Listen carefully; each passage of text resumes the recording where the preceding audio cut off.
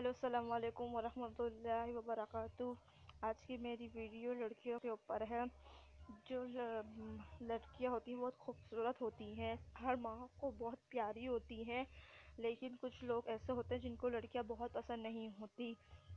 جیسے کہ آدمی کو زیادہ لڑکے پیارے ہوتے ہیں، اس کا مطلب یہ نہیں کہ ان کو لڑکیاں پیاری نہ لگیں۔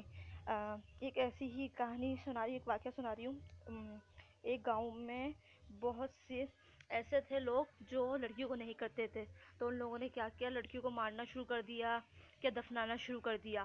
اس طرح ایک وقت ایسا آیا ان کے پاس کہ لڑکیاں ساری ختم ہو گئی، جیسے مر گئی ساری کی ساری۔ تو پورا گاؤں ویران ہو گیا، صرف لڑکے لڑکے بچے تھے اس گاؤں میں۔ تو آپ ایسا مت کریں، جہاں آپ کی عورتوں کی ان عورتوں کی عزت کرنی چاہیے بچوں کہیں کہیں یہ ہوتا ہے کہ کسی گھر میں ایک بیٹی ہوئی، پھر دو بیٹی ہوئی پھر تیسری بیٹی ہوئی، تو لوگ آدمیوں کو کہنا شروع ہو دیتے ہیں، بہت اداس ہو جاتے ہیں۔ ان آدمیوں کے لیے بھی کہنا چاہتی ہوں کہ ضروری نہیں کہ تمہارے گھر پہ تین یا چار بیٹی ہیں۔ لڑکیوں کو پالنے والے بہت ہی خوش نصیب ہوتا ہے۔ اللہ اس کو جنت نصیب فرماتا ہے۔ لڑکیاں بہت ہی زیادہ خوبصورت اور دل دل سے محبت کرنے والی ہوتی ہیں۔ میں یہ نہیں کہہ رہی کہ لڑکے پیارے نہیں ہوتے، لڑکے بھی بہت زیادہ پیارے ہوتے ہیں ماں باپ کا خیال رکھتے ہیں۔ لیکن کبھی کبھی یہ ہوتا ہے کہ لڑکیاں ہر وقت اپنے ماں باپ کے ساتھ رہتی ہیں، بڑھاپے پہ ان کا سہارا بنتی ہیں اور اچھے سے اچھا خیال رکھتی ہیں۔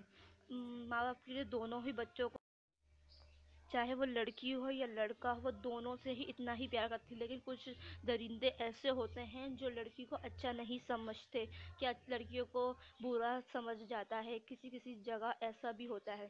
میں ان ان شخص کی بات کر رہی ہوں۔ ایسا مت کریں، اپنی بیٹیوں کا خیال رکھیں کیا شاید اب وہ آپ کی جنت بن جائے لڑکی راجکماری جیسی ہوتی ہے اور اس کا باپ ایک بادشاہ ہوتا ہے کیونکہ راجکماری کی پالنے کی ہمت صرف ایک بادشاہ ہی کر سکتا ہے۔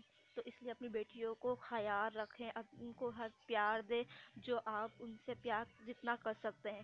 کیونکہ ایک ٹائم آئے گا کہ وہ آپ سے دور ہو جائیں گی، کسی کے گھر چلی جائیں گی، اس کے بعد وہ کبھی نہیں آئیں گی آپ کے پاس۔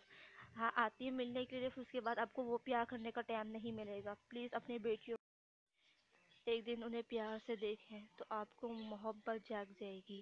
یقین کریں وہ آپ سے زیادہ پیار کرتی ہیں۔ ایک دن یہ نہ ہو کہ آپ وہ اندھیروں میں پھنس جائیں اور آپ کو نفرت سے دیکھنا لگے۔